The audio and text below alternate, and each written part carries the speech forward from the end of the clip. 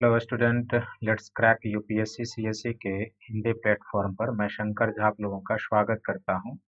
आप अन अकेडमी का सब्सक्रिप्शन कैसे लें और इस सब्सक्रिप्शन को लेकर आप क्या क्या बेनिफिट उठा सकते उससे पहले आप मेरे बारे में जानें। मेरे पास आठ वर्षों के टीचिंग का एक्सपीरियंस है और मैंने दिल्ली और दिल्ली के बाहर देश के कई प्रतिष्ठित संस्थानों और शहरों में पढ़ाया है। मैं हिस्ट्री और ज्योग्राफी ऑप्शनल पेपर तथा सामान्य अध्ययन का सेक्शन पढ़ाता हूँ।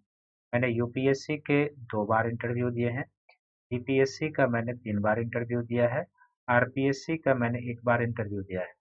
ये मेरा अन अकेडमी का टेलीग्राम लिंक है। आप इसे ज्वाइन कर लें सब्सक्राइब कर लें ताकि क्लास से संबंधित जो भी पीडीएफ होती है पेपर कटिंग होती है और क्लास टाइम आप यहाँ से प्राप्त कर सकते हैं। अब आप अन अकेडमी का सब्सक्रिप्शन लेना चाहते हैं तो इसके लिए सबसे पहले आपको अपने मोबाइल के प्ले स्टोर से जाकर अन अकेडमी का एक लर्निंग ऐप डाउनलोड करना होगा। तब आप अन अकेडमी का सब्सक्रिप्शन और उसके प्रोग्राम का बेनिफिट उठा सकते हैं। जब आप अन अकेडमी का सब्सक्रिप्शन लेते हैं तो आपको क्या क्या बेनिफिट मिलता है? तो सबसे पहले इसमें आपको डेली लाइव क्लास मिलता है। इस लाइव क्लास में आप अपने एडुकेटर के साथ डिस्कशन करके चैट करके क्लास से संबंधित जो भी डाउट होती है, उसको आप क्लियर कर लेते हैं। दूसरा, इसमें आपको लाइव टेस्ट और क्विज मिलता है और इस लाइव टेस्ट और क्विज में डेली बेस के आधार पर आप अपने प्रिपरेशन पीटी और मेंस के तैयारी कितनी हुई है, उसको टेस्ट करने का अवसर मिलता है। फिर तीसरा, आपको एक स्ट्रक्चर कोर्स की प्राप्ति होती है, जिसमें आपको यूपीएससी के पीटी का और मेंस का सिलेबस एक निर्धारित समय में कराया जाता है और चौथा आप अनलिमिटेड एक्सेस को प्राप्त करते हैं। अर्थात आप भीड़ का हिस्सा नहीं बनते, देश के सबसे लार्जेस्ट ऑनलाइन एजुकेशन प्लेटफॉर्म से जुड़ जाते हैं और फिर देश के टॉप एडुकेटर से मार्गदर्शन लेते हैं और अन के द्वारा यूपीएससी हिंदी माध्यम के लिए चलाए गए मोर देन पंद्रह हज़ार से भी अधिक प्रकार के कोर्सेज जो यूपी के, यूपीएससी के प्रलिम से संबंधित है, जो मेंस से संबंधित है और जो इंटरव्यू गाइडेंस प्रोग्राम से संबंधित है। आप उसका बेनिफिट उठाते हैं। अर्थात अन अकेडमी के एक सब्सक्रिप्शन से आप मल्टी बेनिफिट को प्राप्त करते हैं। अन अकेडमी का, जीएस का दो प्रकार का सब्सक्रिप्शन है, एक प्लस कोर्स का सब्सक्रिप्शन है और दूसरा आइकॉनिक तो प्लस कोर्स के 12 मंथ का जो सब्सक्रिप्शन फ़ीस है, ये उनचास हज़ार पाँच सौ रुपया है। लेकिन यदि आप मेरा रेफरल कोड शंकर YT प्रयोग करेंगे तो आपको टेन परसेंट डिस्काउंट मिलेगा। उसके बाद बारह मंथ का सब्सक्रिप्शन आपको चौवालीस हज़ार पाँच सौ पचास में प्राप्त हो जाएगा। और यदि आप 24 मंथ का प्लस कोर्स का सब्सक्रिप्शन लेना चाहते हैं तो इसका subscription fees seventy two thousand है। और मेरा रेफरल कोड शंकर YT प्रयोग करेंगे तो यहाँ भी आप टेन परसेंट डिस्काउंट पाएँगे। तब 24 मंथ के प्लस कोर्स का सब्सक्रिप्शन आपको चौंसठ हज़ार आठ सौ में प्राप्त हो जाएगा। इसी प्रकार यदि आप जीएस का आइकॉनिक सब्सक्रिप्शन लेना चाहते हैं तो जीएस के आइकॉनिक सब्सक्रिप्शन के 12 मंथ का सब्सक्रिप्शन फ़ीस उनहत्तर हज़ार पाँच सौ रुपया है। लेकिन यदि आप मेरा रेफरल कोड शंकर वाई प्रयोग करेंगे तो आप टेन परसेंट डिस्काउंट पाएँगे। तब 12 मंथ का जो आइकॉनिक सब्सक्रिप्शन है, आपको बासठ हज़ार पाँच सौ पचास में प्राप्त हो जाएगा। आइकॉनिक सब्सक्रिप्शन में आपको मिलता क्या क्या है, जिसमें आपको daily live class test series unlimited practice structure schedule personal coach daily mains question answer practice study plan और पर्सनल फीडबैक इसमें जो डे पर्सनल कोच और डेली क्वेश्चन आंसर राइटिंग है, वो आपके लिए सबसे ज़्यादा बेनिफिशियल है। क्योंकि जब आप सिविल सर्विसेज़ की तैयारी करते हैं तो एक प्रॉपर मार्गदर्शक होना चाहिए, जो आपको बताए कि आपकी तैयारी कैसे चल रही है, किस दिशा में जा रही है, आपके द्वारा लिखे हुए प्रश्नों को वो देख कर आपको सही तरीके से दिशा निर्देशित कर सकें। तो इस दृष्टिकोण से आपके लिए आइकॉनिक सब्सक्रिप्शन ज़्यादा बेनिफिशियल है, आप बोले। फिर आप ऑप्शनल पेपर का भी अलग से सब्सक्रिप्शन ले सकते हैं और ऑप्शनल पेपर के 12 मंथ का जो सब्सक्रिप्शन फ़ीस है, ये सत्ताईस हज़ार पाँच सौ रुपया है और यदि आप मेरा रेफरल कोड शंकर वाईटी प्रयोग करेंगे तो आप टेन परसेंट डिस्काउंट पाएँगे। तब 12 मंथ का जो ऑप्शनल पेपर का सब्सक्रिप्शन है, वो आपको चौबीस में प्राप्त हो जाएगा। साथ ही अन के द्वारा जो एक मेगा कॉम्पिटिटिव यूपीएससी सीएससी के लिए बैटल की शुरुआत की गई है, जिसमें आप पार्टिसिपेट करते हैं। पहला ये 6 दिसंबर को था, दूसरा अब 20 दिसंबर को है 11 एएम में जिसका हम लोग पहले भी आपको सूचना देते आ रहे हैं। इसमें आप पार्टिसिपेट करके इस कम्बार्ट में आप ढेर सारे एक्साइटिंग प्राइजेज जीत सकते हैं। और इसमें जो आप प्राइजेज पा सकते हैं, इसमें 45 मिनट का कंटेंट जो फॉर्मेशन है शार्ट क्वेश्चन होगा, तेरह कम्बार्ट है। इस सब में आप पार्टिसिपेट करके जो है इनरोल करा करके आप ढेर सारे एक्साइटिंग प्राइजेज जीत सकते हैं। और आप किस प्रकार के प्राइजेज जीत सकते हैं, वो भी आप देख लें यहाँ पर। पहला प्राइज एक लैपटॉप फिर आपको सेकंड प्राइज में एप्पल आईपैड मिनी फिर थर्ड प्राइज में आपको एप्पल एयरपैड मिलेगा और हंड्रेड रैंकर्स तक टॉप हंड्रेड रैंकर्स को अमेजन वाउचर जो है, सो हज़ार रुपये तक का प्राप्त होगा। तो आप इसमें पार्टिसिपेट करके प्राइज जीतने का अवसर पा सकते हैं। साथ ही अनकेडमी के द्वारा जो अब यूपीएससी प्रीलिम्स के लिए ओनली छः महीने समय बचा रह गया है तो उसको ध्यान में रखते हुए यूपीएससी 2021 के प्रीलिम्स के लिए विशेष फोकस प्रोग्राम सब चलाया जा रहा है। उस फोकस प्रोग्राम में आप पार्टिसिपेट कर सकते हैं और बैच जो है सो टॉप एडुकेटर सब के द्वारा चलाया जा रहा है। पंद्रह दिसंबर को स्टार्ट हो रहा है, इसमें कंप्लीट जीएस का सिलेबस प्रीलिम्स कवर कराया जाएगा प्रीलिम्स का टेस्ट होगा सिविल लाइव क्लासेज जो है, सो 500 आवर्स के बीच होगा। Free PDF study material structure schedule मिलेगा डॉट क्लियरिंग सेशन मिलेगा और इंडिया के टॉप एडुकेटर आपका मार्गदर्शन करेंगे। तो आप 15 दिसंबर से होने वाले इस प्रोग्राम में पार्टिसिपेट कर सकते हैं। साथ ही आपके लिए 2014 दिसंबर से भी एक बैच स्टार्ट हो रहा है। बाइलिंगुअल बैच सब है, लक्ष्य 2021 जो है मिशन है, लक्ष्य है एक्सपेडिशन ये बैच का नियम है। इसी तरीके से 2022 के लिए भी है और 2023 के लिए। तो आप किसी में इसमें एडमिशन लेकर अपने लक्ष्य को, अपने टारगेट को प्राप्त कर सकते हैं। तो आप अन के एक या दो वर्षों का आइकॉनिक या प्लस सब्सक्रिप्शन लेकर आप इसमें पार्टिसिपेट कर सकते हैं और फिर इंडिया के टॉप एडुकेटर से मार्गदर्शन लेने का अवसर प्राप्त कर सकते हैं। तो आइए एक बार पुनः मुगल साम्राज्य में आपका स्वागत है। जैसे कि पिछले दो लेक्चर में आपने बाबर के बारे में पढ़ लिया है कि बाबर का भारत आगमन किस प्रकार से होता है और फिर बाबर के समक्ष किस तरह की चुनौतियाँ थी किस किस चीज़ पर उन्होंने काम किया, कैसे काम किया? तो अल्पकाल का बाबर का शासन काल था, केवल 1526 से लेके 1530 इस चार वर्षों में बाबर चार युद्ध लड़े और फिर 1530 में मृत्यु हो जाती है। तो प्रशासन को पुनर्गठित स्थापित करने का आर्थिक व्यवस्था को सुधार करने का कोई खास अवसर मिला नहीं था। तो आज के इस लेक्चर में हम लोग हुमायूं के बारे में पढ़ेंगे और हुमायूं के बारे में जो हम लोग पढ़ने के लिए जाएँगे तो सबसे पहले हम एक फॉर्मेशन कर लेते हैं। फॉर्मेटिंग आखिर हुमायूं के बारे में हम लोगों को क्या क्या जानना है। हुमायूं के बारे में जो हुमायूं का शासनकाल 1530 से लेके फ़र्स्ट फ़ेज़ में 1540 तक और फिर सेकेंड फ़ेज़ में कुछ 1555 से लेके 1556 के बीच कुछ सेकेंड फ़ेज़ में भी इसका शासनकाल है, छह महीने का। तो प्रमुख रूप से हिमायू का जो पहले फ़ेज़ का शासनकाल है 1530 से लेके 1540 तक, इसमें सबसे पहले हम लोग चर्चा करेंगे कि हिमायू जब शासक बनता है, बादशाह बनता है तो इसके सामने चुनौती क्या थी? क्या क्या चुनौती थी? इसके बारे में चर्चा, उसी के संदर्भ में हिमायू को समझा जाएगा। चुनौती के बाद हम लोग देखेंगे कि समाधान के लिए हुमायूं क्या काम करता है, समाधान के लिए कार्य और समाधान के लिए कार्य करने के बाद इसी में इसका बहुत सारा सेक्शन आ जाएगा। और तीसरा हम लोग देखेंगे हुमायूं का शासक के रूप में मूल्यांकन करेंगे, शासक के रूप में मूल्यांकन। ये ऑप्शनल पेपर के स्तर का डिस्कशन हो जाएगा। क्योंकि जब हम एक शासक के रूप में मूल्यांकन करेंगे तो ये काफ़ी डीप जाएगा। आखिर उसकी सफलता और सफलता का मूल्यांकन करेंगे क्योंकि इतिहास में, इतिहासकारों के द्वारा हिमायू के ऊपर कई सारे क्लेम लगाए गए हैं, कई सारे शासकों ने असफल शासक घोषित किया इतिहासकारों ने। तो तमाम पहलुओं पर हम चर्चा करेंगे। तो सबसे पहले हुमायूं के सामने चुनौती क्या क्या थी, इसके ऊपर हम डिस्कशन करेंगे। और इसी चुनौती के संदर्भ में आप समझ पाएँगे कि आखिर हुमायूं के समक्ष क्या क्या चुनौतियाँ थी और किस तरह की समस्याएँ थी। तो सबसे पहले हुमायूं जब 1530 ईस्वी में शासक बनता है तो शासक बनने के पास उसके पास किस प्रकार की चुनौती थी, उस चुनौती को देखते हैं। सबसे पहला चुनौती क्या था कि जैसे मैंने पहले ही बताया था कि बाबर का शासनकाल बहुत ही अल्प समय का, चार वर्ष का समय मिला और चार वर्ष में उसने चार युद्ध लड़ा। तो पहली समस्या हुमायूं के पास क्या थी कि बाबर द्वारा स्थापित प्रशासन को सुदृढ़ करना था या इसको दृढ़ीकरण करना था, सुदृढ़ करना था क्योंकि, सुदृढ़ करना था क्योंकि बाबर को इसका अवसर मिला नहीं था। तो प्रशासन का दृढ़ीकरण, सुदृढ़ीकरण करना एक चुनौती थी।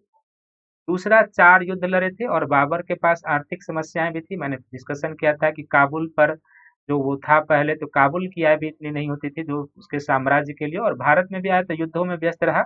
तो दूसरा था प्रशासनिक सिद्धिकरण के साथ साथ क्या था कि आर्थिक स्रोत का, आर्थिक स्रोत का अस्थायीकरण, आर्थिक स्रोत का स्थायीकरण क्योंकि जब तक आर्थिक स्रोत का स्थायीकरण नहीं होगा तब तक राज्य के सुदृढ़ीकरण में दिक्कतें होती है। दूसरी चुनौती इसके पास थी।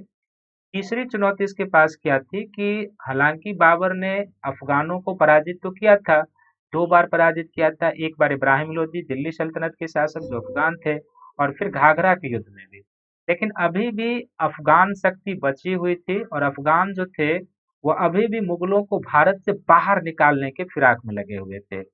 तो अफगान समस्या का समाधान करना था इसको। अफगान की चुनौती अभी भी बाबर के बाद बनी हुई थी और ये अफगान जो बेसिकली थे, कौन थे?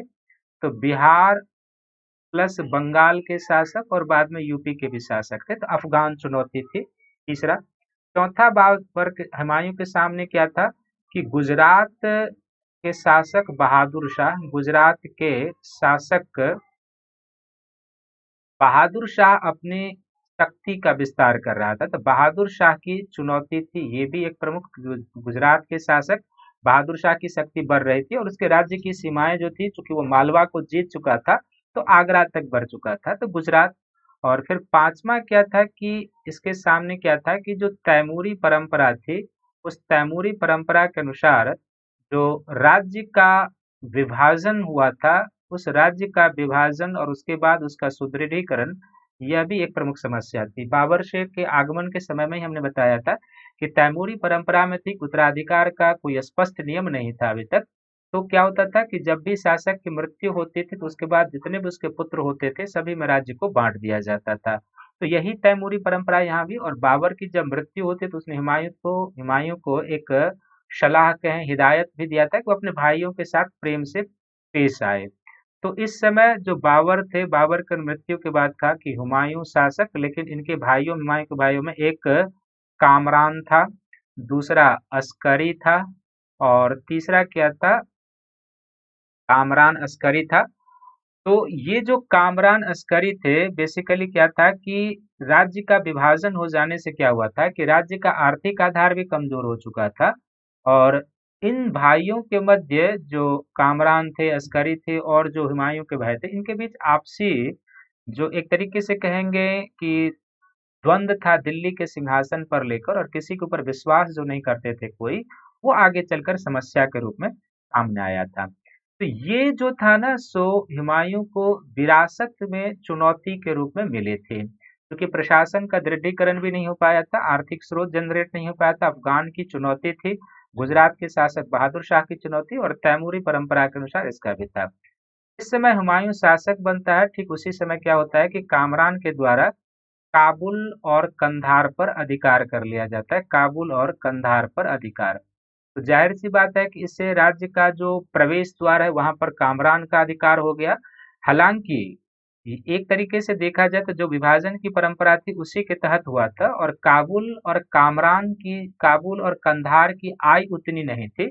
इसलिए आगे चलकर कामरान के द्वारा क्या किया जाता है कि मुल्तान और लाहौर पर भी अधिकार कर लिया जाता है। मुल्तान प्लस लाहौर पर भी अधिकार कर लिया जाता है। इन दोनों पर भी अधिकार कर लेता है। यानी ये चार क्षेत्र कामरान के अधीन आ जाता है। हालाँकि इसका दो पक्ष है।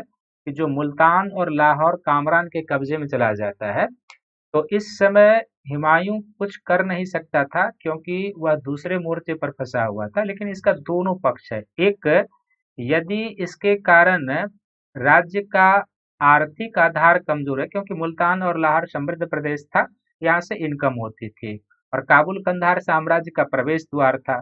तो यदि इसके कारण, यदि कामरान इन चार क्षेत्रों पर अधिकार कर लिया, यदि इसके कारण राज्य का आर्थिक आधार कमज़ोर हुआ, और ज़ाहिर सी बात है, आर्थिक आधार कमज़ोर हुआ, और साथ ही साम्राज्य का विभाजन भी हो गया।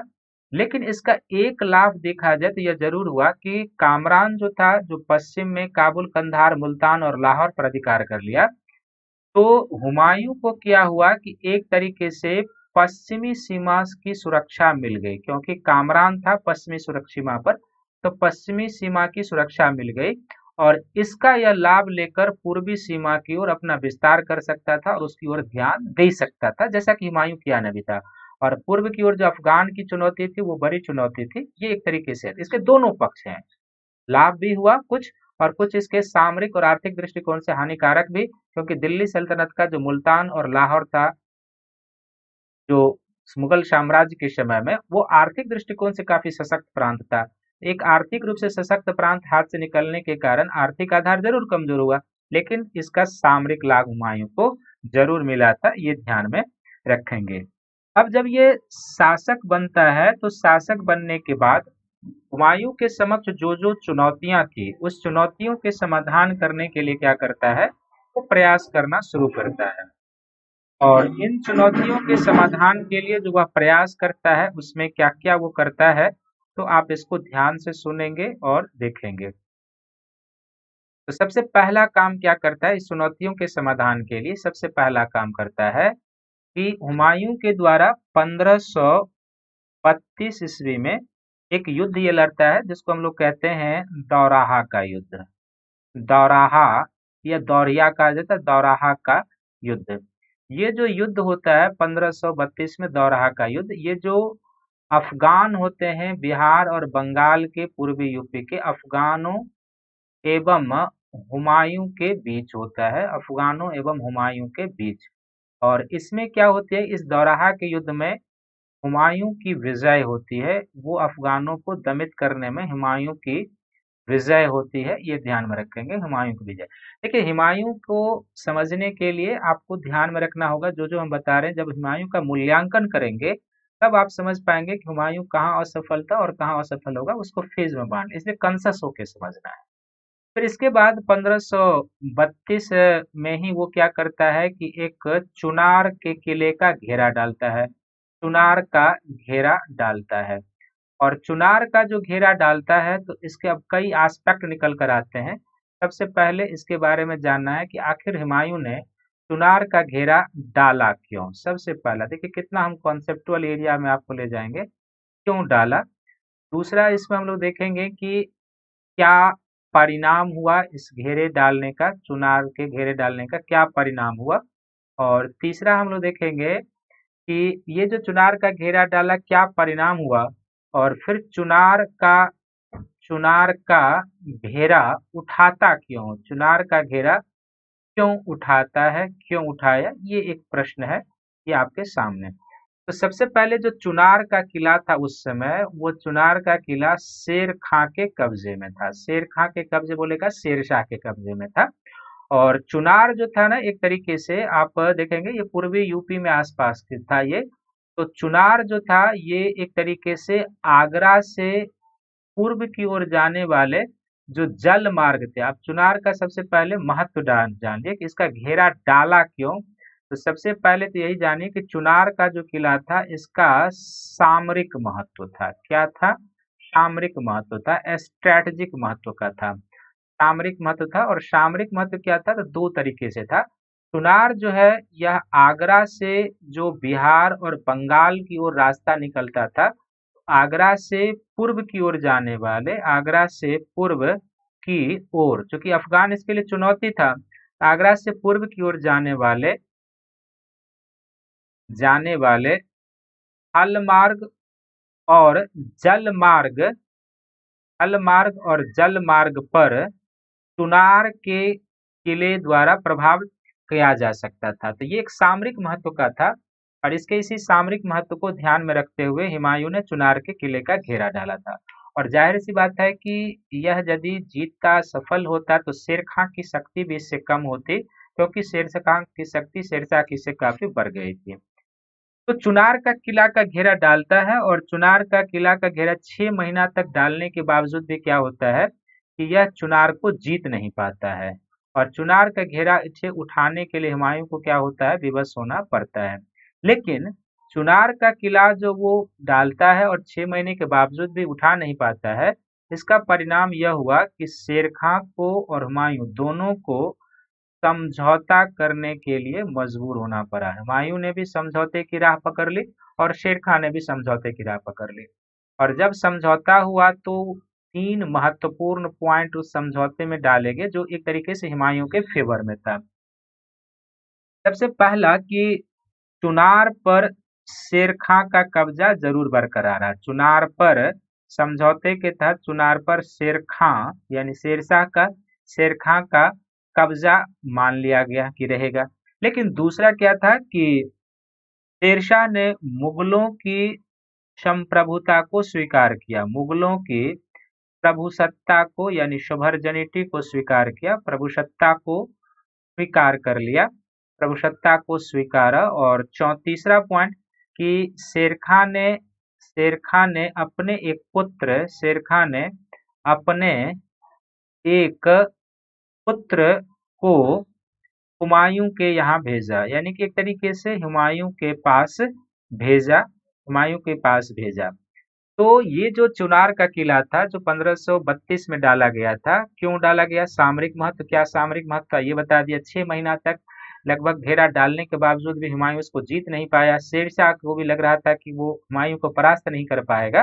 तो दोनों संधि समझौते पर मजबूर हुआ और संधि समझौते के अनुसार चुनार पर शेरखा का कब्जा बरकरार रहा। सुर शेर खान ने मुगलों की प्रभुसत्ता को स्वीकार कर लिया और शेर खान ने अपने एक पुत्र को हुमायूं के पास भेज दिया। तो यहाँ पर बराबर की स्थिति दिखाई दे रही है, क्योंकि चुनार हुमायूं के कब्जे में रहा, लेकिन मुगलों की सुबर्जुनिटी को स्वीकार करता अपने पुत्र को एक बंधक तरीके से भेजता है। लेकिन अब प्रश्न उत्पन्न होता है कि छह महीना के बावजूद यदि हुमायूं को चुनार के किले का घेरा उठाना ही था तो फिर इसने चुनार की घेरा क्यों डाला था?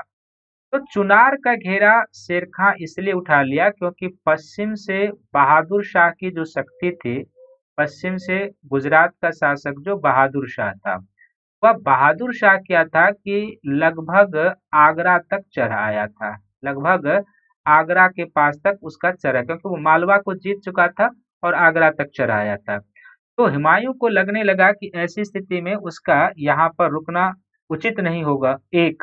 और दूसरा, चूँकि बहादुर शाह को वो पूरी शक्ति के साथ दमन करना चाहता था हुमायूं तो यदि शक्ति के साथ दमन करेंगे तो ज़ाहिर सी बात है कि पूरी सेना एक जगह होनी चाहिए। यदि वो अपने सेना को विभाजित करके अर्थात आधा सेना को चुनार के घेरे के पास छोड़ देता और आधा सेना लेकर जाता तो हो सकता था कि चुनार के मोर्चे पर भी वो पराजित होता और गुजरात के बहादुर शाह के मोर्चे पर भी पराजित होकर होता। तो यहाँ तक इसकी रणनीति ठीक दिखाई देती है कि वो चुनार के किले का घेरा डाला, सफलता न मिली, समझौता कर लिया एक तरीके से बराबर। और अब अपनी पूरी शक्ति के साथ वो गुजरात के बहादुर शाह, जो लगभग आगरा तक उसके राज्य की सीमा मिलने लगी थी, मालवा जीतने के बाद वह उसको शक्ति के बल पर दमन करना चाहता था। इसीलिए छह महीने के बाद वो चुनार के किले का घेरा उठा लेता है। तो ज़ाहिर सी बात है कि अब जब चुनार के किले का ये परिणाम रहा इस तरीके से ये पूरा इसका कंक्लूजन है और क्यों उठाया तो बहादुर शाह की शक्ति का दमन करने के लिए। तो ज़ाहिर सी बात है कि अब अगला सेक्शन हुमायूं का किसके साथ होगा? कुछ लंबा समय तक वो गुजरात के बहादुर शाह के साथ उसका संघर्ष होगा। और गुजरात के बहादुर शाह के साथ जो संघर्ष होता है, किस तरीके से होता है, वो आप ध्यान से देखेंगे। तो सबसे पहला इसमें हम लोग ये जानेंगे कि जो बहादुर शाह था, बहादुर शाह के साथ संघर्ष का कारण, संघर्ष का कारण। तो बहादुर शाह के साथ जो संघर्ष हुए थे, उसका कारण क्या था, इसको पहले जानते हैं। उसके बाद, देखिए, बहादुर शाह भी हुमायूं के हम उम्र का शासक था और काफ़ी मज़बूत शासक था। तो इसका सबसे पहला कारण क्या था कि इस समय तक बहादुर शाह के द्वारा क्या किया गया था? मालवा की विजय कर ली गई थी। और मालवा की विजय करने के कारण क्या था कि गुजरात के तटीय प्रदेश तक उसका अधिकार हो चुका था, जो एक समृद्ध प्रदेश था। और मालवा की सीमा जो थी, वो आगरा तक आ जाती थी। तो बिल्कुल आगरा, जो समय हुमायूं के समय मुगल बादशाहों की राजधानी हुआ करती थी वहाँ तक। तो ज़ाहिर सी बात है कि एक ऐसे शासक जो हुमायूं का प्रतिद्वंदी था, उसकी शक्ति बढ़ना एक संघर्ष का कारण बन रहा था। दूसरा इसका कारण क्या था कि इस युद्ध का कि बहादुर शाह के द्वारा चित्तौर का घेरा डाला गया था। चित्तौर का घेरा। और चित्तौर का जो घेरा डाला गया था तो उसका तो एक रीजन था ही। साथ ही यहाँ की जो किबंदंती है कि यहाँ की रानी कर्णवती के द्वारा, रानी कर्णवती के द्वारा जो है सो राखी भेजकर हुमायूं से सहायता मांगी गई थी कि गुजरात के बहादुर शाह जो वहाँ पर चित्तौड़ का घेरा डाला हुआ था, उसके विरुद्ध वो उसकी सहायता करें। और कुछ इतिहासकार यह भी एक कारण मानते हैं, हो सकता है कि इस पर हुमायूं एक रक्षार्थ शासक के रूप में वहाँ पर गया होगा और बहादुर शाह को पराजित करने का प्रयास किया होगा। तीसरा, चौथा जो इसका कारण था यह यह था कि बहादुर शाह ने एक तरीके से हुमायूं विरोधी नीति अपना रखी थी। बहादुर शाह ने हुमायूं विरोधी नीति अपना रखी थी। हुमायूं विरोधी नीति। हुमायूं विरोधी नीति क्या अपना रखी थी? तो जो भी हुमायूं के डर के कारण या उसका प्रतिद्वंदी था जिसके कारण से भी, चाहे उसके डर के कारण, चाहे अन्य कारणों से जो भी हुमायूं का प्रतिद्वंदी था उस सबको अपने यहाँ संरक्षण देता था। अपने यहाँ संरक्षण देता था। तो ज़ाहिर सी बात है कि जब आप एक शासक के विरोधी लोगों को अपने यहाँ संरक्षण देते हैं तो वो षड्यंत्र का केंद्र होगा और वो हुमायूं के लिए सही नहीं होता। यह भी एक कारण था। और पांचवा कारण क्या था जो बहादुर शाह के साथ संघर्ष का कारण बनता है? कि इब्राहिम लोदी के एक चचेरे भाई इब्राहिम लोदी इब्राहिम लोदी के रिश्तेदार समझेंगे। एक रिश्तेदार, तातरा खां था, तातरा खां, ये भी अफगान था। तातरा खां को इसने सैनिक सहायता दी थी। तातरा खां को सैनिक और मानव संसाधन से सहायता की थी, मानव संसाधन से सहायता की थी। तो इस तरीके से उपयुक्त कारण था ये बहादुर शाह और हुमायूं के बीच संघर्ष का। ये पाँच पॉइंट याद रखेंगे। हुमायूं के, यानी बहादुर शाह के द्वारा मालवा को जीत लिया जाना, चित्तौर का घेरा डालना। चित्तौर का घेरा डालने के बाद रानी कर्णवती जो वहाँ की थी, उनके द्वारा आश्रय के लिए, सहायता के लिए राखी भेजकर याचना करना। बहादुर शाह के, बहादुर शाह ने हुमायूं विरोधी नीति अपना रखी थी, यानी उसके जितने भी शत्रु थे, प्रतिद्वंदी थे, उसके डर के कारण जो भी था, सबको अपने यहाँ संरक्षण देता था। एक षड्यंत्र का केंद्र बिंदु हुमायूं के विरुद्ध अपने दरबार में बना लिया था। और इब्राहिम लोदी के रिश्तेदार तातरा खां को भी सैनिक और मानव संसाधन की सहायता देता है। तो ज़ाहिर सी बात है कि अब अगला स्टेप क्या होगा हुमायूं का?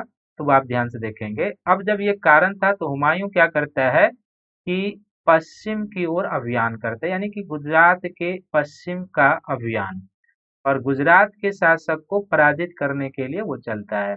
जैसे ही पश्चिम की ओर बढ़ता है और ग्वालियर किले तक पहुँचता है ग्वालियर तक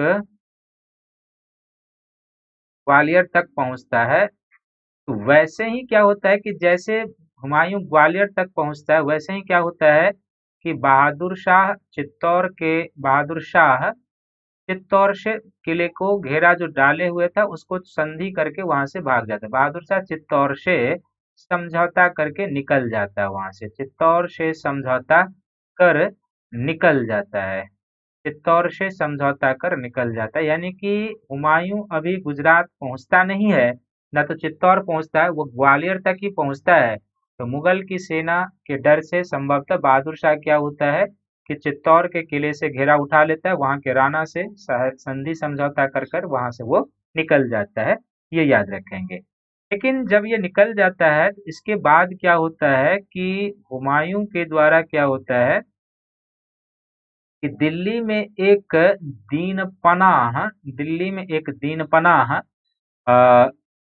दीन पनाह का निर्माण करता है। जिस तरीके से शहर, उसका आर्किटेक्ट हो जाएगा दीन पनाह भवन का निर्माण करता है। इसमें लगभग हुमायूं जो है दीन पनाह भवन के निर्माण में हुमायूं लगभग दो डेढ़ वर्षों का समय व्यतीत करता है इस समय। यानी कि जब बहादुर शाह चित्तौड़ के किले से घेरा उठा के समझौता करके गुजरात निकल जाता है, ग्वालियर से फिर ये आगरा आ जाता है, दिल्ली आ जाता है और वहाँ पर दीनपना भवन का निर्माण करता है, दो वर्षों का समय इसमें लगभग लगता है। यहाँ इतिहासकार इसकी आलोचना करते हैं, कहते हैं कि एक ठीक ऐसे समय में हिमायू को दो प्रबल शत्रु दो छोर पर मिले थे। यदि आप इसको बड़े तौर पर समझेंगे, ये दिल्ली हो जाए, दिल्ली के नज़दीक आप समझे आगरा है इसके पूर्व में इसको अफगान चुनौती मिल रही थी, यानी बंगाल, बिहार के शेरखा का, और इसको पश्चिम से गुजरात के शासक बहादुर शाह को चुनौती मिल रही थी। और बहादुर शाह और शेरखा के बीच भी साठ गांठ था हिमायू के विरुद्ध ये भी ध्यान में रखेंगे। तो कुछ इतिहासकार यह कहते हैं, और जिसमें कुछ सत्यता भी है, कि दो वर्षों के समय में जब अफगान भी अपनी शक्ति को संयोजित कर रहे थे और बहादुर शाह भी जब दो वर्षों तक अपनी शक्ति को बढ़ा रहा था, संयोजित कर रहा था, उस दो वर्षों के बहुमूल्य समय का उपयोग हुमायूं ने दीन पनाह के निर्माण में खर्च कर दिया। लेकिन यहाँ पर एक महत्वपूर्ण बिंदु यह भी याद रखना है कि दीनपना भवन का निर्माण उसने जानबूझ के कराया था और एक शासक की सूझबूझ थी। क्योंकि गुजरात के शासक से भी उसको चुनौती मिल थी और कई बार वो आगरा तक बरकरार चुका था। तो उसको लग रहा था कि यदि आगरा पर किसी कारण से कब्जा हो जाता है तो दिल्ली जो है दूसरी राजधानी के रूप में उसके लिए तरण स्थली के रूप में रहेगी और वो वहाँ से, वहाँ पर, वहाँ से अभियान कर सकता है। तो दोनों पक्ष हैं, यदि वो समय नहीं व्यतीत करता तो कुछ और स्टेप उठा सकता था, हो सकता था गुजरात के बहादुर शाह के विरुद्ध और शेर खान के विरुद्ध। और यदि उसने वो दो साल का समय व्यतीत किया दीनपनाह के निर्माण में तो इसका एक सामरिक महत्व यह है कि वो इसके माध्यम से अपने शत्रु और मित्र दोनों को प्रभावित करना चाहता था। और विपरीत समय में वो इसे राजधानी के रूप में विकसित करना चाहता था, संभवतः इसलिए उसने दीनपनाह का निर्माण कराया था। तो ये इसका एक महत्वपूर्ण और मज़बूत तर्क है, जो आपको ध्यान में रखना है। जब दीनपना का वो निर्माण कर लेता है तो अगला स्टेप किसके विरुद्ध वो उठाता है? तो तातरा खां के विरुद्ध उठाता है, क्योंकि तातरा खां भी इसके विरुद्ध संयंत्र करता है और तातरा खां के विरुद्ध उठाता है। तो तातरा खां को क्या करता है कि तातरा तातरा खां के विरुद्ध स्टेप उठाता है, इसके साथ युद्ध करता है और युद्ध में इसकी पराजय होती है तातरा खां की और पराजय होने के बाद इसे मार दिया जाता है, मार दिया जाता है। यहाँ पर तात्रा खां की जो समस्या थी, ये यहीं पर समाप्त हो जाता है। जब तात्रा खां की समस्या समाप्त हो जाता है, तब हुमायूं क्या करता है, अपनी पूरी शक्ति बहादुर शाह के विरुद्ध लगा देता है। और बहादुर शाह के विरुद्ध लगा देता है तो इस समय भी क्या होता है कि बहादुर शाह अब नेक्स्ट स्टेप वो क्या करता है कि अपनी पूरी शक्ति बहादुर शाह के विरुद्ध लगा देता है। तो इस समय भी बहादुर शाह क्या था कि जब हुमायूं गुजरात का अभियान करना शुरू करता है तो बहादुर शाह चित्तौड़ के किले का घेरा डाले हुए था। घेरा डाले हुए था कौन? बहादुर शाह चित्तौड़ के किले का घेरा डाला हुआ था। लेकिन जैसे ही वह सुना बहादुर शाह कि हुमायूं और उसकी सेनाएँ आ रही है वो चित्तौर का घेरा छोड़कर यहाँ से निकल गया मांडू। चित्तौर से भाग जाता है बहादुर शाह मांडू। और जब हुमायूं मांडू पहुँचता है और मांडू पर वो कब्जा कर लेता है हुमायूं तो मांडू यानी कि मांडू पर क्या किया जाता है? हुमायूं के द्वारा कब्जा कर लिया जाता है। और जब मांडू पर हुमायूं का कब्जा हो जाता है तो बहादुर शाह यहाँ से भाग जाता है और पश्चिम की ओर, तट की ओर चंपानेर भाग जाता है। चंपानेर भाग जाता है। हुमायूं यहाँ भी इसका पीछा करता है और हुमायूं के द्वारा चंपानेर को भी क्या किया जाता है? जीत लिया जाता है। हुमायूं चंपानेर को भी जीत लेता है। जब हुमायूं चंपानेर को जीत लेता है तो ये यहाँ से भाग जाता है अहमदाबाद को। और अहमदाबाद को भागने के बाद यहाँ भी जब इसको दिक्कतें होती है तो बिल्कुल तट पर जाकर क्या होता है? ये काठियावाड़ पहुँच जाता है, यहाँ पर पहुँच जाता है। इस तरीके से जैसे जैसे हुमायूं बहादुर शाह का पीछा करते जा रहा था, उसके क्षेत्र को जीतते जा रहा था। वैसे वैसे गुजरात का जो शासक बहादुर शाह था, वो एरिया छोड़कर भागते जा रहा था। और काठियावाड़ जाने के बाद क्या हुआ कि एक समय ऐसा हुआ, जब पूरा लगभग गुजरात भी हुमायूं के कब्जे में और मालवा भी हुमायूं के कब्जे में आ चुका था। यहाँ तक क्या हुआ कि काठियावाड़ तक पीछा करते करते जाता है हुमायूं के कब्जे में गुजरात और मालवा दोनों आ जाता है, हुमायूं के कब्जे में, दोनों आ जाता है। लेकिन इतनी जल्दी से गुजरात और मालवा को हुमायूं जीतता है, उतनी ही जल्दी से गुजरात और मालवा हुमायूं के हाथ से निकल भी जाता है। यानी बहुत लंबे समय तक ये इसके हाथ में नहीं रहता है।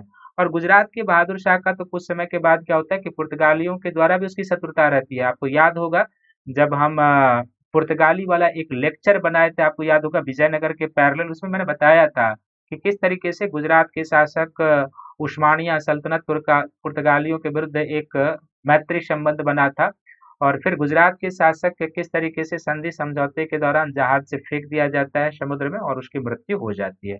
इसके बाद वैसे बहादुर शाह की समस्या लगभग समाप्त हो जाती है, उधर से कोई चुनौती हुमायूं को नहीं मिलता है। लेकिन प्रश्न यह उत्पन्न होता है कि आखिर जब हुमायूं गुजरात को और मालवा को जीत चुका था, बहुत जल्दी जीत भी लिया तो फिर बहुत जल्दी गुजरात और मालवा उसके हाथ से क्यों निकल गया, ये हमें जानना है। तो सबसे पहले ये जानना है कि आखिर गुजरात और मालवा हुमायूं के हाथ से क्यों निकला? यहाँ पर एक प्रश्न हो जाता है कि इतनी जल्दी जीता तो फिर प्रश्न यही है कि गुजरात गुजरात और मालवा हाथ से क्यों निकला? मालवा हाथ से क्यों निकला?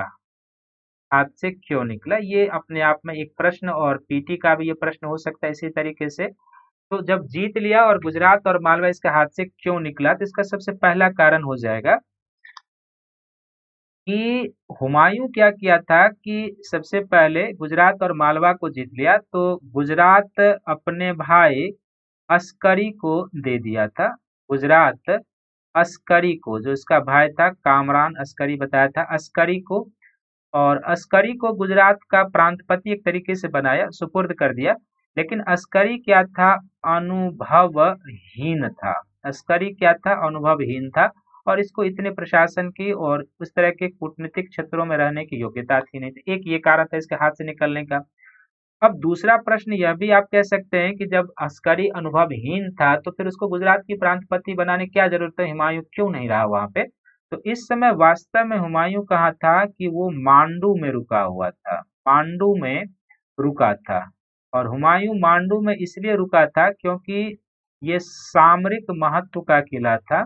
हुमायूं क्या था कि सामरिक महत्व का किला था और इस सामरिक महत्व का किला से क्या था कि इसका बहुत विशेष महत्व था, क्योंकि एक तो यहाँ की जलवायु बहुत अच्छी थी, हो सकता है कि कुछ उसके जलवायु अच्छी थी तो रहने के दृष्टिकोण से। दूसरा इसका महत्व क्या था कि इस क्षेत्र से, मांडू के क्षेत्र से पूरे गुजरात और प्लस मालवा के ऊपर नियंत्रण रखा जा सकता था। गुजरात और मालवा पर नियंत्रण। तो इसलिए मांडू में अपने हुमायूं रुक गया, जो सामरिक महत्व का अधिक था और गुजरात का प्रांतपति अस्करी को बना दिया। लेकिन अस्करी अनुभवहीन था, ये ध्यान में रखेंगे।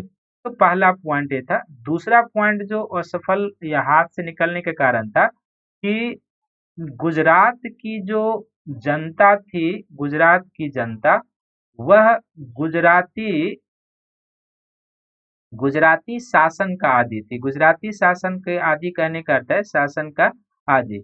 कि वह बहादुर शाह के अधीन शासित हो रहे थे तो उसी प्रकार से अपने गुजरात के शासक से शासित होना चाह रहे थे। हिमायू के शासन को जनता के स्तर पर स्वीकार नहीं किया जा रहा था। ये एक बहुत बड़ी समस्या थी। और इसके कारण हम देखते हैं कि हिमायू के समय में आए दिन क्या होता था वहाँ पे? एक के बाद एक जन विद्रोह होना, एक के बाद एक जन विद्रोह होना शुरू हो गया था, एक के बाद एक जन विद्रोह। तो आप किसी एक प्रॉपर शासक से लड़ सकते हो, लेकिन यदि पूरी जनता आपका समर्थन ना करे, आपके प्रशासन को एक्सेप्ट ना करे और एक के बाद एक जन विद्रोह होने लगे तो फिर आपके लिए बहुत बड़ी चुनौती हो जाती है। और चौथा क्या था कि ठीक इसी समय क्या हुआ कि जो जैसे जैसे यहाँ पर हिमायू की कमज़ोर स्थिति होती जा रही थी तो बहादुर शाह तो हालाँकि पराजित हो चुका था और उसकी मृत्यु भी हो चुकी थी।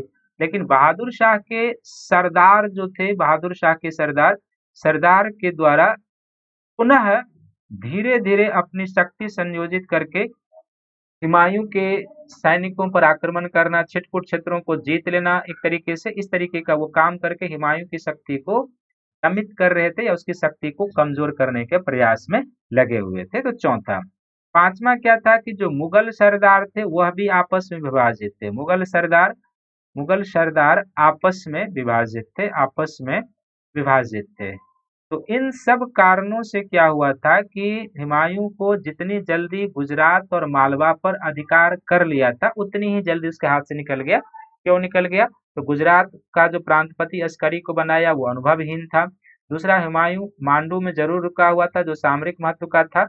लेकिन वह गुजरात के जनता को अपने प्रशासन में, अपने प्रशासन के अधीन लाने में सफल रहा और इसलिए गुजरात की जनता गुजरात की शासन चाहती थी, यानी कि वहाँ के शासक से शासित होना चाह रहे थे। इसलिए एक के बाद एक जन विद्रोह होना शुरू हुआ। फिर बहादुर शाह के जो सरदार थे, जो सैनिक थे, वो भी छिटपुट हुमायूं के सैनिकों पर, उसके अड्डे पर हमले कर रहे थे, जिसकी मुगलों की शक्ति छीन हो रही थी।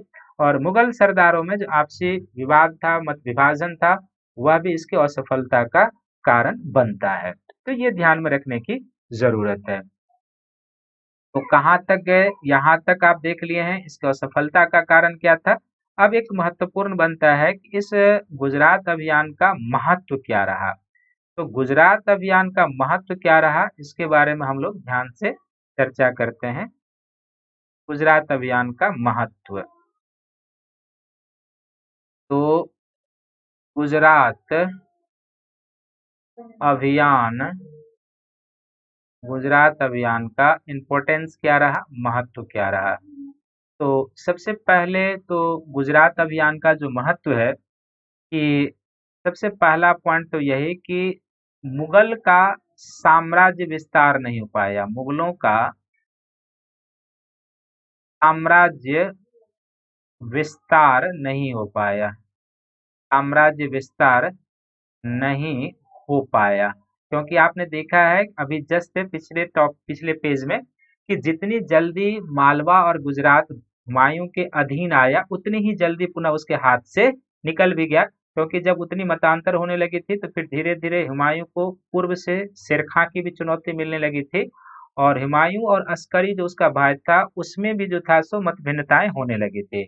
तो फिर वो क्या हुआ कि मांडू को छोड़कर हुमायूं दिल्ली आ जाता है और जैसे ही दिल्ली आ जाता है तो फिर क्या होता है कि धीरे धीरे गुजरात और मालवा उसके हाथ से निकल जाता है। इसलिए क्या होता है कि साम्राज्य का विस्तार नहीं हो पाता है। लेकिन इसका दूसरा मत यह है कि बहादुर शाह का खतरा हमेशा के लिए समाप्त हो गया। बहादुर शाह का खतरा, जैसे मैंने पहले ही कहा, बहादुर शाह का खतरा हमेशा के लिए हमेशा के लिए समाप्त हो गया।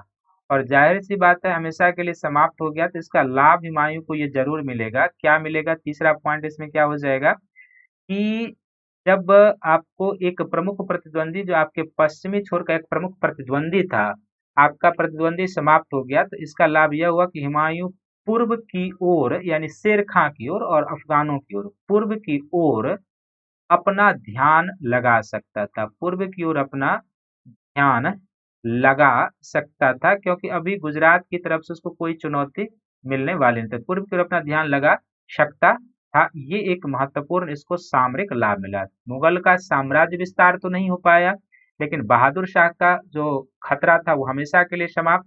अब जब पश्चिम से आपके ऊपर जो खतरा था वो समाप्त हो गया तो आप पूर्व की ओर अपनी पूरे ध्यान लगाकर हुमायूं शेर खां को देख सकते थे।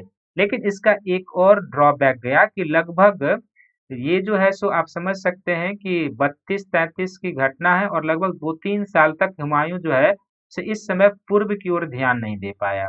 जब हुमायूं इस समय तक, चूँकि वो मांडो में अपने रहा, भाई भी उधर रहा तो इस बीच में शेर खान ने अपनी शक्ति काफ़ी बढ़ा ली। शेर खान ने अपनी शक्ति काफ़ी बढ़ा ली, क्योंकि इधर हुमायूं ध्यान नहीं दे पाया। और जब शेर खान ने अपनी शक्ति काफ़ी बढ़ा ली तो ये आगे चलकर हुमायूं के लिए चुनौती के रूप में सामने आया। तो गुजरात अभियान का दोनों रूप से महत्व है, साम्राज्य विस्तार नहीं हो पाया आपका, लेकिन एक खतरा ज़रूर समाप्त हो गया तो दूसरे खतरा को भरने का मौका मिल गया, क्योंकि उसने अपनी शक्ति संजो ली और हुमायूं के लिए भी एक लाभ ज़रूर ये हुआ कि वो पूरी शक्ति के साथ पूर्व की ओर बढ़ सकता था। जैसे वो बहादुर शाह को अपनी पूरी शक्ति के साथ दमित करना चाहता था, और चुनार का घेरा उठा लिया था, ठीक अब वो अपनी पूरी शक्ति के साथ जो है, उसको दमित कर सकता था। अब ज़ाहिर सी बात है कि एक प्रतिद्वंदी समाप्त हो चुका है, जिस तरीके से भी हो। अब हुमायूं का जो अगला प्रतिद्वंदी है, वो कौन है, जिससे इसका संघर्ष होगा, वो है शेर खां। तो ज़ाहिर सी बात है कि अब जो है, शेर खां और हुमायूं। शेर खां और हुमायूं।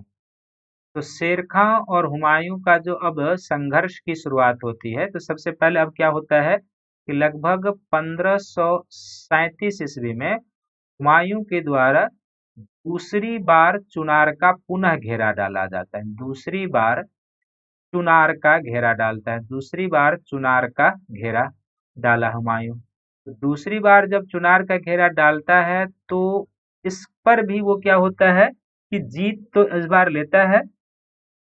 काफ़ी लंबे जद्दोजहद के बाद क्या होता है कि इसके पास एक रूमी खां नामक तोपची होता है। ये रूमी खां पहले गुजरात के शासक बहादुर शाह की सेवा में था। बहादुर शाह से इसको जब उसको पराजित किया था तो ये रूमी खां हुमायूं की सेवा में आ गया था। रूमानी, रूमी खां जो था, उस्मानी तोपची था। उस्मानिया सल्तनत का था। उस्मानी तोपची था ये। और इसी उस्मानी रूमी खां की सहायता से इसने चुनार के घेरा पर कब्जा कर लिया। इस बार काफ़ी जद्दोजहद के बाद क्या होता है हुमायूं के द्वारा चुनार पर कब्जा कर लिया जाता है। और जब हुमायूं कब्जा कर लेता है तो इसी बीच शेरशाह क्या करता है कि एक अन्य मज़बूत किले रोहतासगढ़ पर, रोहतास किले पर अधिकार कर लेता है। रोहतासगढ़ के किले पर अधिकार कर लेता है। और जब रोहतासगढ़ के किले पर अधिकार कर लेता है तो फिर क्या होता है यहाँ पर कि रोहतासगढ़ के किले पर अधिकार कर लेने के बाद क्या होता है कि यहाँ पर ये भी एक सामरिक महत्व का किला था और इस सामरिक महत्व के किले पर अधिकार कर लेने से क्या होता है कि शेरशाह की शक्ति में और वृद्धि हो जाती है। हालाँकि जब ये, यहाँ पर यह भी ध्यान में रखना है कि जब पंद्रह में शेर खां के द्वारा हुमायूं शेर खां एक तरीके से चुनार के किले को खो देता है तो हुमायूं फिर से एक बार क्या होता है कि इधर रोहतास का किला भी जीत देता है और शेरशाह के द्वारा हुमायूं के समक्ष एक समझौता का प्रस्ताव रखा जाता है। और जो एक समझौता का प्रस्ताव रखा जाता है, उसमें यह रखा जाता है समझौते का जो प्रस्ताव रखा जाता है, उसमें शेरखा यह कहता है कि बंगाल उसके अधीन रहने दे शेर खां के अधीन, बंगाल उसके अधीन रहने दे, क्योंकि उसके पहले वो बंगाल को जीत चुका था। बंगाल उसके अधीन रहने दे और बंगाल उसके अधीन रहने दे, इसका पहला पॉइंट और दूसरा पॉइंट क्या कि बदले में जो है, वह दस लाख दस लाख दिनार प्रति वर्ष सुल्तान यानी कि हुमायूं को देगा। अब ये समझौते का प्रस्ताव था और शेरशाह के समझौते के प्रस्ताव पर विश्वास करना या न करना वास्तव में उसने दिया था एक तर्क की बात है, क्योंकि शेरशाह बहुत चतुर शासक था। जैसे आपने देखा कि यहाँ चुनार का खिला खोया, उसको लगा कि जब हम इसे बचा नहीं पाएँगे जब तक हुमायूं चुनार के किले को बचाने, जीतने में था, तब तक वो रोहतास के मज़बूत किले पर अधिकार कर लिया। वहाँ पर आर्थिक संसाधन भी था, उससे उसकी स्थिति और मज़बूत हो गई। और फिर वो एक प्रस्ताव भेजता है, जिस प्रस्ताव का एक बार वो पूरी तरीके से उल्लंघन कर चुका था, जो पहले हुआ था। तो हुमायूं ने संभवतः इस प्रस्ताव को नहीं माना और फिर वह बंगाल का अभियान करने का निश्चय करता है। हुमायूं बंगाल अभियान करने का निश्चय करता है। और हुमायूं जो बंगाल अभियान करने का निश्चय करता है तो ज़ाहिर सी बात है कि इस बंगाल अभियान के पीछे कुछ न कुछ कारण रहा होगा। तो क्या कारण था कि बंगाल का अभियान करता है और किस तरीके से अभियान होता है? वो ध्यान से देखिए। सबसे पहले जो बंगाल का अभियान करता है, इसका कारण था कि स्वर्ण की प्राप्ति। बंगाल से वह उस समय काफ़ी स्वर्ण की प्राप्ति हो रही थी। शेरशाह ने भी जब उस पर अभियान किया था तो उसको भी काफ़ी प्राप्त हुई थी और शेरशाह ने दस लाख दिनार सालाना देने का वादा किया था। यदि उस समझौते के प्रस्ताव को मान लिया जाए इसका अर्थ है कि वहाँ पर स्वर्ण की प्राप्ति होती, ये उम्मीद थी। इसके कारण दूसरा क्या था कि बंगाल एक समुद्र तटीय प्रांत था तो बंगाल का व्यापार जो था, ये भी इस पर हुमायूं का ध्यान था कि आर्थिक समृद्धि हो सकती है। तीसरा हुमायूं का था कि यहाँ का जो कृषि उत्पाद, वह भी हुमायूं के आकर्षण का केंद्र था। कृषि उत्पाद, वह भी हुमायूं के आकर्षण का केंद्र था। और चौथा क्या था कि जो बंगाल का शासक था, वह शेर खां से पराजित होकर, यानी शेरशाह से पराजित होकर हुमायूं की शरण में आया था और हुमायूं से सहायता मांगा था। तो इन चार कारणों से हुमायूं बंगाल अभियान करने का निश्चय करता है। यानी कि स्वर्ण प्राप्ति के उद्देश्य से बंगाल के समृद्ध व्यापार पर एकाधिकार करने के उद्देश्य से कृषि उत्पाद पर अपना एक तरीके से करादी की प्राप्ति होती, उसको ध्यान में रखते हुए और शेर खान ने बंगाल के जिस शासक को पराजित किया था, वो भागकर हुमायूं के पास आ चुका था और हुमायूं से सहायता याचना करके वो बंगाल सहायता याचना करता है। इसी पृष्ठभूमि में हुमायूं क्या करता है?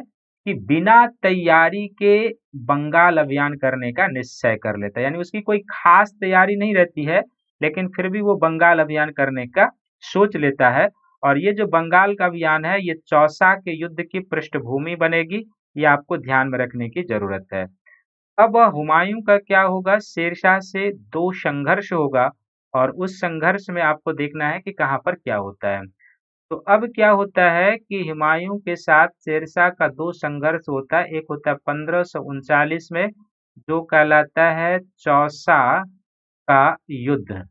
और ये जो चौसा का युद्ध है तो ज़ाहिर सी बात है, किसके किसके बीच होगा, अब कहने की ज़रूरत नहीं। ये चौसा जो है कर्मनाशा नदी के किनारे है। कर्मनाशा नदी बिहार और यूपी की सीमा बनाती है। कर्मनाशा नदी के किनारे है। और इस युद्ध में क्या होता है कि हुमायूं की पराजय होती है। हुमायूं की पराजय और शेर खां की विजय होती है। हुमायूं की पराजय और शेर खां की क्या होती है? शेर खां की विजय होती है। और इसी युद्ध के बाद शेर खां द्वारा हज़रत आला की उपाधि धारण की जाती है। शेर खां की विजय होती है हुमायूं का। और हुमायूं इसमें युद्ध में जान बचाकर भागता है। और एक भिस्ती की सहायता से, भिस्ती की सहायता से वो कर्मनाशा नदी को पार करता है, कर्मनाशा को पार करता है और अपनी जान बचाने में सफल होता है। और जिस भिस्ती ने हुमायूं को जान बचाने में मदद पहुंचाई थी, हुमायूं ने उसको पारितोषिक दिया और पारितोषिक क्या दिया? तो उस भिस्ती को हुमायूं ने एक दिन का दिल्ली का बादशाह बना दिया। एक दिन का मुगल साम्राज्य का, दिल्ली का, यानी मुगल साम्राज्य का बादशाह बना दिया और ये जो भिस्ती जो एक दिन के दिल्ली का मुगल साम्राज्य का बादशाह बना, इसने उसी एक दिन में चमड़े के सिक्के प्रचलित किए, अपने नाम के चमड़े के सिक्के चलाए। ये पॉइंट पीटी में कभी कभी पूछा जाता है तो ये ध्यान में रखेंगे। तो चौसा का युद्ध पंद्रह में, हुमायूं और शेरशाह के बीच कर्मनाशा नदी, जो बिहार और यूपी की सीमा पर है हुमायूं की पराजय, शेर खां की विजय और भागते हुमायूं की जान कर्मनाशा नदी को पार करने में भिस्ती उसकी सहायता करता है। बदले में वह भिस्ती एक दिन के दिल्ली का बादशाह बनाया जाता है और वह भिस्ती जो है सो फिर क्या करता है? कि चमड़े का सिक्का चलाता है। अब हुमायूं जान बचाकर फिर क्या होता है? आगरा आता है और आगरा आता है इसी समय यहाँ पर क्या होता है कि कामरान भी आता है, अस्करी भी आता है। लेकिन कामरान और अस्करी में अभियान कैसे किया जाए, किस तरीके से तैयारी किया जाए तो कामरान और हिमायूं में इसको लेकर मतभेद था। और मतभेद के कारण फिर से क्या होता है कि कामरान अपने सैनिक के साथ फिर से वो चला जाता है, काबुल, कंधार, लाहौर, मुल्तान, जहाँ का वो शासक रहता है, वहाँ पर चला जाता है। अब ज़ाहिर सी बात है कि उनचालीस में हारे थे तो शेरशाह की शक्ति का विस्तार हुआ था तो फिर अगली मुलाकात होती है, दूसरा युद्ध होता है 1540 में। और 1540 के मई में जो युद्ध होता है, इस युद्ध को हम लोग कहते हैं कन्नौज या बिलग्राम का युद्ध कहा जाता है। इसको कन्नौज या बिलग्राम का युद्ध कहते हैं। और इस कन्नौज या बिलग्राम के युद्ध में भी क्या होता है? परिणाम पहले ही की तरह रहता है। इस कन्नौज या बिलग्राम के युद्ध में शेरशाह की जीत होती है। शेरशाह की जीत होती है और हुमायूं की पराजय होती है। हुमायूं की क्या होती है? पराजय होती है। और जब हुमायूं पराजय होता है तो यहाँ से लेके, यानी कि 1540 से लेके लगभग 1555 तक, ये जो 15 वर्ष का समय है, हुमायूं के काफ़ी कठिन दिन रहते हैं, काफ़ी भटकते हुए दिन बीतते हैं पंद्रह वर्षों में। और किस प्रकार से इनके कठिन दिन होते हैं, कैसे भटकते हुए बीतते हैं ये मैं आपको आगे बताऊँगा। लेकिन अब यहाँ पर यह प्रश्न उत्पन्न होता है कि आखिर चौसा के युद्ध में और कन्नौज या बिलग्राम के युद्ध में हुमायूं की पराजय का क्या कारण था? या कुल मिलाकर यदि ये देखा जाए कि शेरशाह के विरुद्ध हुमायूं की असफलता का क्या कारण था तो वो ध्यान में रखना है। तो एक हम हेडिंग बनाते हैं, अगले स्लाइड पर चलते हैं और उस स्लाइड में लिखेंगे लेंगे आखिर शेर खां के विरुद्ध शेर खां के विरुद्ध शेर खां के विरुद्ध हुमायूं के असफलता का कारण, हुमायूं के असफलता का कारण। हुमायूं के असफलता का कारण, कि शेर खां के विरुद्ध हुमायूं के असफलता का कारण क्या था, वो आपको ध्यान से समझना है। तो हुमायूं के असफलता का जो कारण था, सबसे पहला कारण क्या था कि जैसे मैंने पहले ही कहा कि बिना तैयारी का उसने, बिना तैयारी का उसने बंगाल का अभियान किया था। बिना तैयारी का बंगाल अभियान किया था। बिना तैयारी का बंगाल अभियान किया था। और बिना तैयारी का बंगाल अभियान किया था तो ज़ाहिर सी बात है कि न तो सैन्य तैयारी थी न उस तरह की सूझबूझ थी, न कूटनीतिक प्रतिभा का परिचय दिया था, वो बंगाल पहुँच गया था, वहाँ की राजधानी गौर तक को जीत लिया था। तो एक, दूसरा क्या था कि शेर खां ने जानबूझकर इसको बंगाल तक जाने दिया था। शेर खां ने जानबूझकर शेर खां ने जानबूझकर गौर तक जाने दिया था। गौर तक जाने दिया जाने दिया था, गौर तक जाने दिया था, जानबूझकर उसको गौर तक जाने दिया था। जो बंगाल की उस समय राजधानी थी। तीसरा, जब ये गौर तक पहुँच गया था तो फिर क्या हुआ? शेर खान ने क्या किया कि पीछे से पीछे से रसद पंक्ति काट दी, पीछे से रसद पंक्ति काट दी, पीछे से रसद पंक्ति काट दी। और जब पीछे से रसद पंक्ति काटती तो ज़ाहिर सी बात है, जो सैनिक कुमुख होता है, जो रसद होता है, वो हुमायूं को मिलना बंद हो गया। चौथा क्या हुआ कि युद्ध के दोनों ही अवसर पर, दोनों ही अवसर पर, यानी कि जो चौसा का युद्ध हुआ था और जो कन्नौज या बिलग्राम का युद्ध हुआ था, दोनों ही अवसर पर गलत मैदान का चयन, गलत मैदान का चयन कर लिया था। गलत मैदान के चयन करने का अर्थ है कि इसने क्या किया था कि युद्ध भूमि का जो निचला हिस्सा होता है, निचले हिस्से में अपना कुमुक लगाया था। निचले हिस्से में अपना कुमुक लगाया था या अपना डेरा डाला था, अपना कुमुक लगाया था। तो ज़ाहिर सी बात है कि अब समस्या क्या होगी इसका? तो पांचवा इसका असफलता का कारण क्या था कि मानसून वर्षा का सीज़न शुरू हो चुका था। मानसून वर्षा शुरू और ज़ाहिर सी बात है कि मानसून वर्षा शुरू हो चुकी थी। आप निचले सीज़न में अपना कुमुक निचले एरिया में अपना कुमुक लगाए हुए हैं। तो निचले एरिया में कुमुक लगाए होने के कारण क्या हुआ था कि युद्ध के दोनों अवसर पर हुमायूं के खेमे में, हुमायूं के खेमे में पानी भर गया। युद्ध के दोनों अवसर पर क्या हुआ? हुमायूं के खेमे में पानी भर गया। और ज़ाहिर सी बात है कि जब युद्ध के दोनों अवसर पर हुमायूं के खेमे में पानी भर जाएगा तो सैन्य छावनी में परेशानी होने की छठा सातवा इसका कारण क्या था कि अन्य जगहों पर जो भी शेरखा के विरुद्ध शेरखा के विरुद्ध शेरखा के विरुद्ध हुमायूं असली कूटनीतिक हुमायूं, जैसे उसने हुमायूं कूटनीतिक प्रतिभा का परिचय नहीं दे पाया। कूटनीतिक प्रतिभा का परिचय नहीं दे पाया और बिना तैयारी किए हुए वो बंगाल मांडू तक चला गया था। तो ये एक हुई। दूसरा क्या था कि आठवां पॉइंट ये था कि जो अफगान शक्ति का हुमायूं ने गलत ताकत अंदाज़ा लगाया था। अफगान शक्ति का गलत अनुमान लगाया था, गलत अनुमान लगाया था। और बिहार, बंगाल के जो समय नुहानी अफगान थे, उनके कोई बड़े लीडर नहीं थे।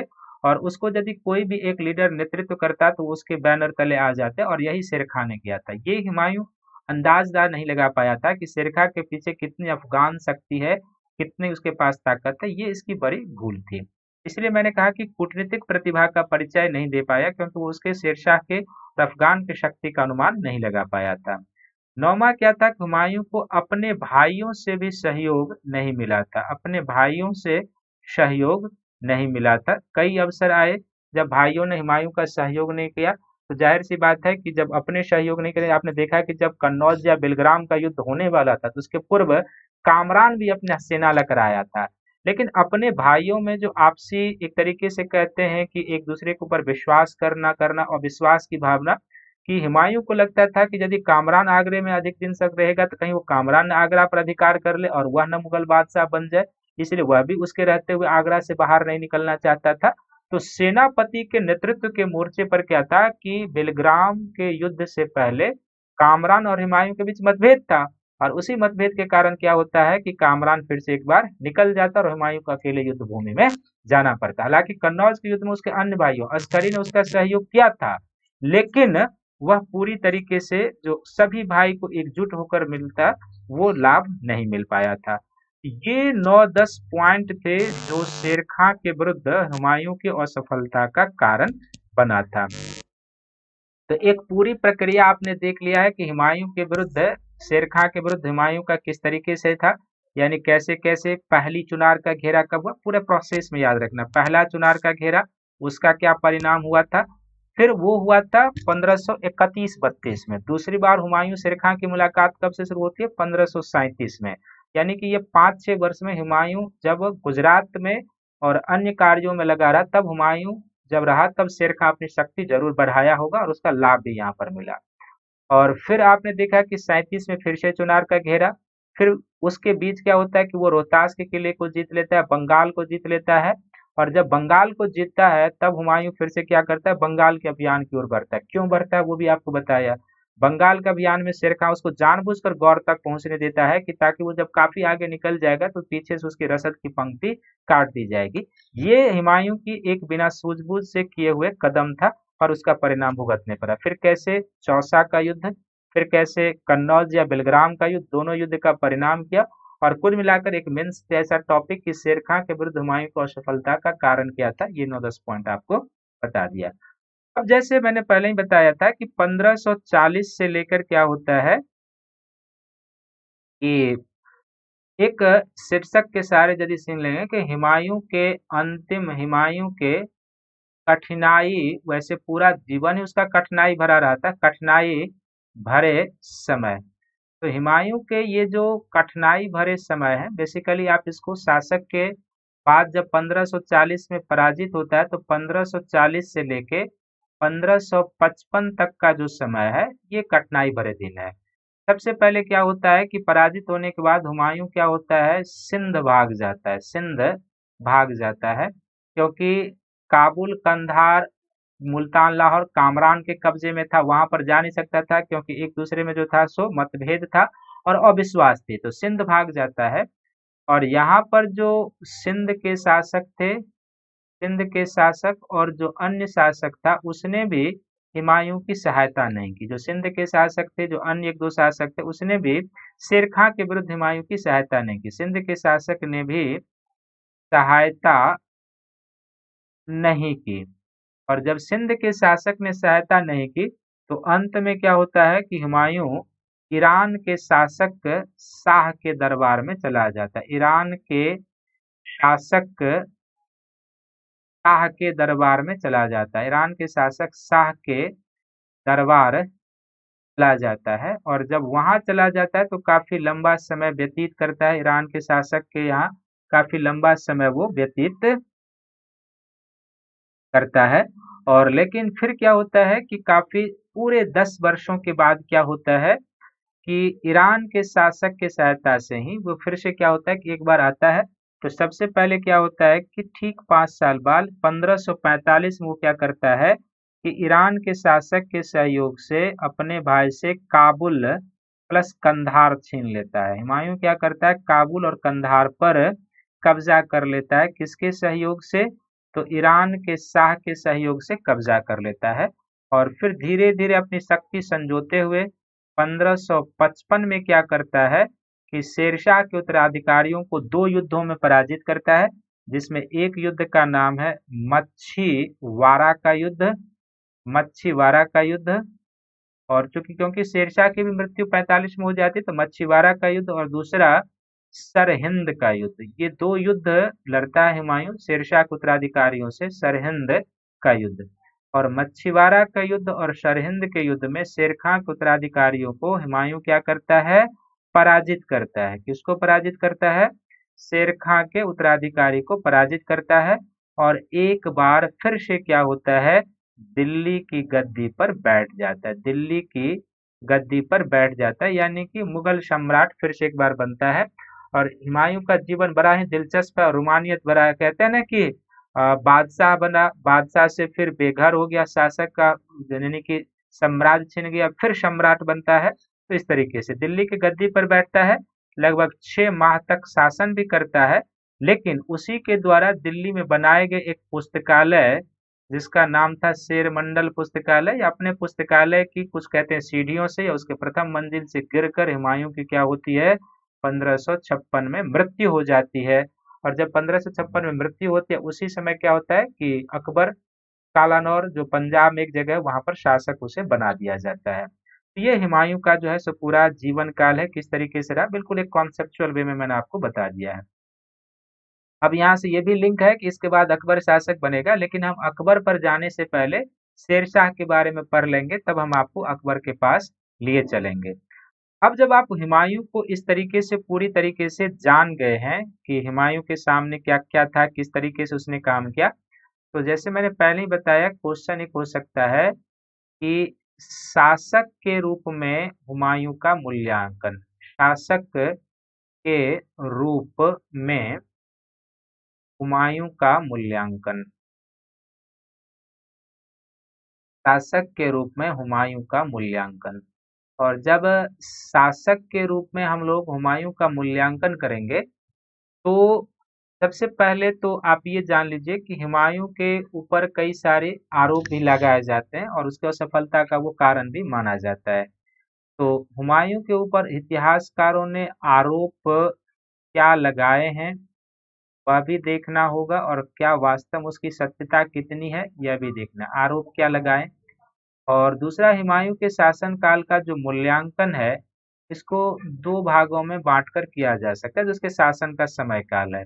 यानी एक 1530 से लेके 1536 तक का जो फ़ेज़ है वो, और फिर पंद्रह से लेके 1540 तक का जो फ़ेज़ है वो, इस दो तरीके से।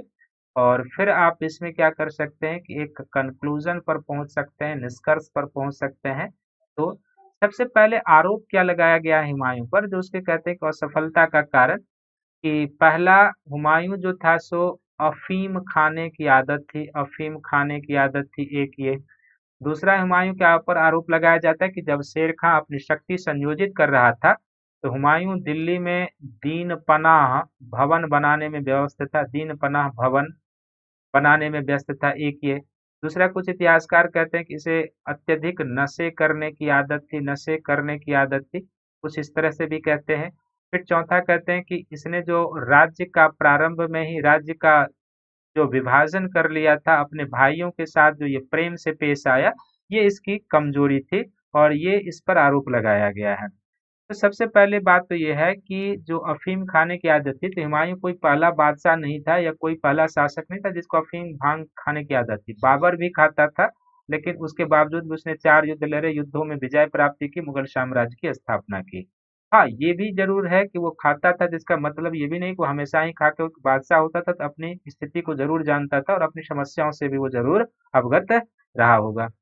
दीनपना भवन का निर्माण करना और उस पर समय व्यतीत करना, मैंने पहले ही बताया कि इसके पीछे एक सबसे बड़ा कारण यह था कि हो सकता है कि इस समय जो सिमायु ने दो सवाल व्यतीत किए दीनपना के भवन बनाने में, उसमें शेरशाह ने अपनी संयोजित की होगी, गुजरात के शासक ने अपनी संयोग शक्ति संयोजित की बढ़ाई ली लेकिन दीनपना बनाने के पीछे मूल उद्देश्य उसका यही था कि वह शत्रु और मित्र दोनों को उससे प्रभावित करना चाहता था और संभवतः यह भी कारण हो सकता है कि गुजरात का शासक कई बार जो उसने मालवा को जीत लिया था, उसकी सीमा आगरा तक मिल जाती थी।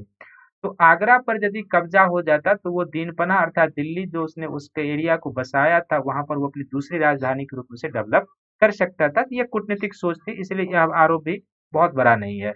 नशे करने की आदत, जैसे पहले कहते हैं राज्य को विभाजित करने की परंपरा कोई हुमायूं ने नहीं शुरू की थी, बल्कि ये तैमूरी परंपरा ही थी। और तैमूरी परंपरा पहले भी, जब मैंने आपको बताया है, उस समय भी, अभी भी, और आगे भी राज्य को लेकर, उत्तराधिकार को लेकर संघर्ष होता है।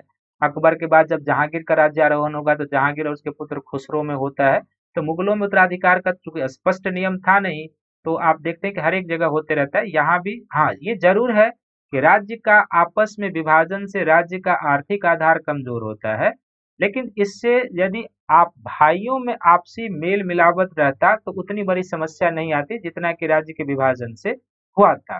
लेकिन यहाँ ये ज़रूर माना जा सकता है कि इसलिए हुमायूं दोषी किस हद तक था, ये कहना मुश्किल, क्योंकि राज्य विभाजन की यह परंपरा हुमायूं को विरासत में मिली थी। कोई हुमायूं ने नई परंपरा नहीं शुरू की थी। विरासत मिली थी और बाबर ने भी हुमायूं को अपने भाई के साथ प्रेम से पेश आने की सलाह दी थी। हालाँकि जब आप एक शासक बनते हैं तो सगे संबंधी जो होते हैं सो साम्राज्य सबसे ऊपर, उसमें सगे संबंधी का स्थान गौन हो जाता है। इस दृष्टिकोण से देखा जाए तो हुमायूं का यह जो नीति थी, वह सही नहीं थी साम्राज्य के लिए।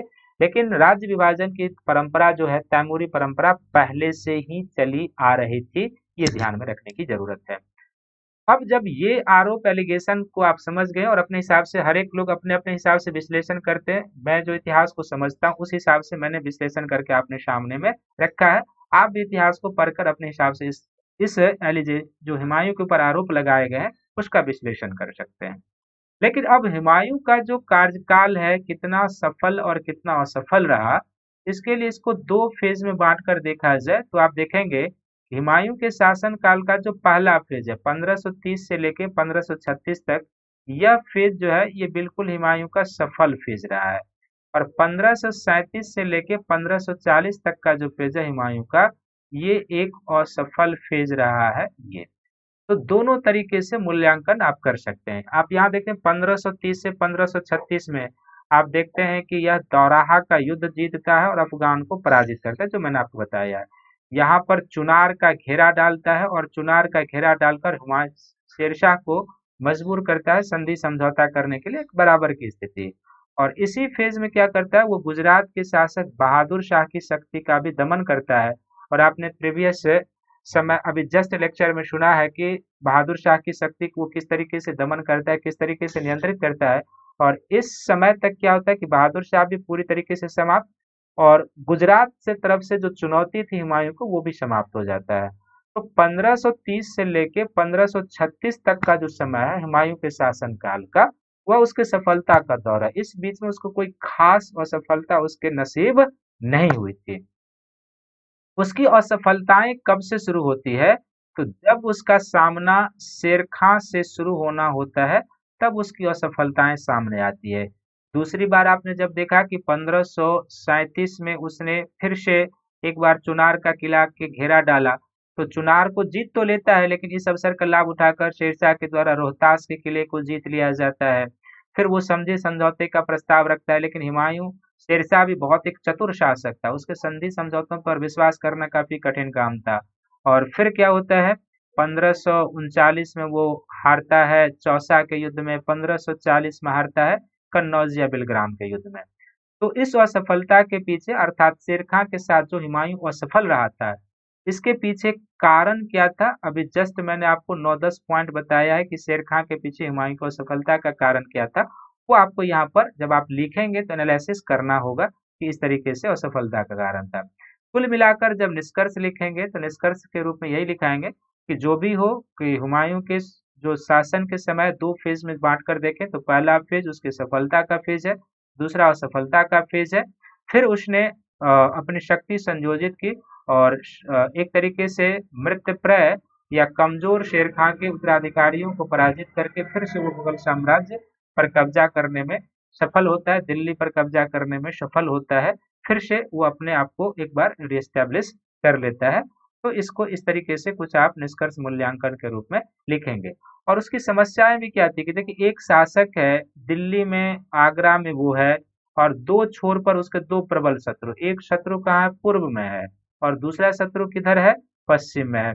तो ज़ाहिर सी बात है कि एक शासक है, यदि वो पश्चिम में बहादुर शाह को दमन करने के लिए जाता था तो शेर खां आगरा तक चला आता था और शेर खां अपनी शक्ति तब तक विस्तार कर लेता था, बढ़ा लेता था।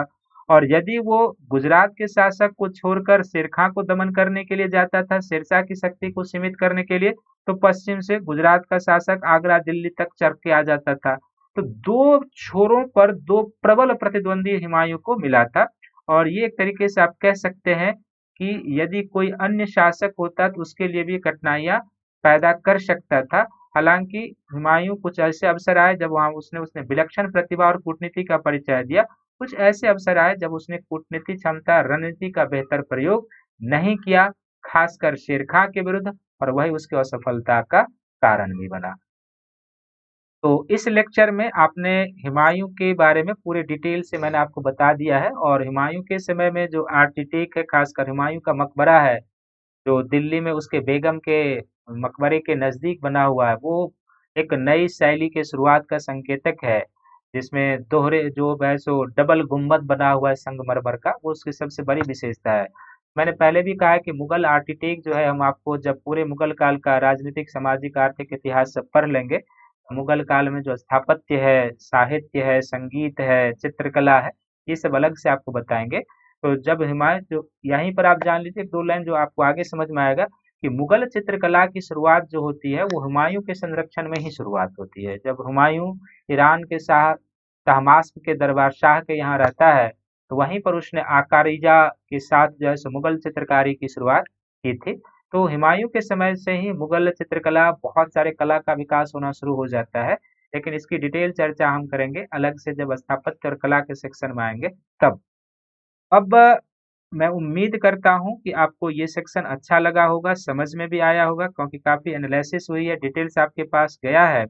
अगले वीडियो में हम अकबर पर पहुँचने से पहले शेरशाह पर चर्चा कर लेंगे, और शेरशाह एक बीच में महत्वपूर्ण शासक बनते हैं। तो शेरशाह और सूरवंश के बारे में चर्चा कर लेने के बाद जो अगला लेक्चर होगा, वो आपके पास पहुंचेगा। तब हम पुनः क्या हो जाएँगे, फिर से एक बार मुगल में आ जाएँगे, अकबर, फिर जहांगीर, फिर शाहजहां, फिर औरंगज़ेब, इस तरीके से हम लोग क्लास करते जाएँगे। मैं उम्मीद करता हूँ कि ये आप लोगों को अच्छा लगा होगा। अन्य वीडियो की तरह ही आप इसको देख के अपना नोट्स डेवलप कर लेंगे। और आप या आपके मित्रों में से यदि अन का कोई जीएस का सब्सक्रिप्शन लेते हैं प्लस कोर्स का तो आप मेरा रेफरल कोड शंकर वाईटी प्रयोग करेंगे तो आपको टेन परसेंट का डिस्काउंट मिल जाएगा। तो आप मेरा रेफरल कोड यूज़ करें, आपको टेन परसेंट का डिस्काउंट मिल जाएगा। इसी प्रकार से आप जीएस का आइकॉनिक सब्सक्रिप्शन भी ले सकते हैं और आइकॉनिक सब्सक्रिप्शन 12 मंथ का लें 24 मंथ का लें और आप मेरा रेफरल कोड शंकर वाईटी प्रयोग करेंगे तो आपको 10 परसेंट का डिस्काउंट मिलेगा। तब आप प्लस कोर्स में मेरे साथ जुड़ सकते हैं। इसी प्रकार मैं ज्योग्राफी और हिस्ट्री ऑप्शनल पेपर पढ़ाता हूँ। तो आप ऑप्शनल पेपर का भी अलग से 12 मंथ का 24 मंथ का सब्सक्रिप्शन ले सकते हैं और मेरा रेफरल कोड यूज़ करेंगे शंकर वाईटी तो आपको टेन परसेंट डिस्काउंट मिल जाएगा। तब आप जीएस में और हिस्ट्री ज्योग्राफी ऑप्शनल पेपर में मेरे साथ जुड़ सकते हैं। और इस वीडियो को सभी लोग लाइक करें शेयर करें सब्सक्राइब करें ताकि अधिक से अधिक लोग इसका बेनिफिट उठा सके। और अगले वीडियो में आपके लिए मैं शेरशाह के बारे में डिटेल से लेकर आऊँगा। तब तक इस वीडियो को देखिए लाइक कीजिए शेयर कीजिए सब्सक्राइब कीजिए। और सभी को थैंक्स है, धन्यवाद है। मिलते हैं अगले लेक्चर में शेरशाह के साथ।